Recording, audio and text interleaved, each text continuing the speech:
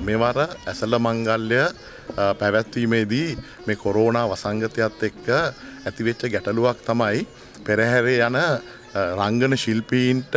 වෙනදට ජලය ලබාදීම සිදු කරන්නේ සෞඛ්‍යදාන සංගමයෙන් ගරු දිසාපත්තුමාගේත් දීවන් නිලතුමාගේත් උපදෙස් පරිදි මහනුවර ටෙලිකොම් පාරිභෝග සමාජයේ විදිහට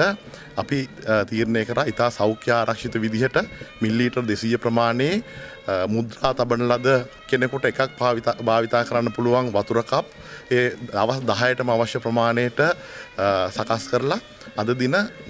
මෙම දළදාමාලිගා පරිශ්‍රයේදී දිසාපත්තුමාට සහ දියවනමතුමාට සංකේතවාත්මකව